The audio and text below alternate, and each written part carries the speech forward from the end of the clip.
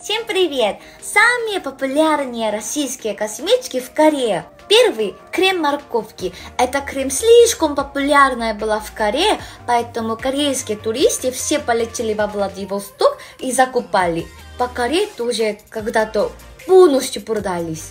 Второй. Натура Сибирка. Это считалось как люксовой косметикой, очень дорого продались. Третий. Крем для рук от бабушки Агафи. Я не знаю, кто такая эта бабушка, но это крем слишком красивый, поэтому популярна была. Четвертый. Черный жемчуг. Это крем популярна была среди корейскими взрослыми женщинами, потому что там написано, со скольким нужно пользоваться. Эта концепция понравилась.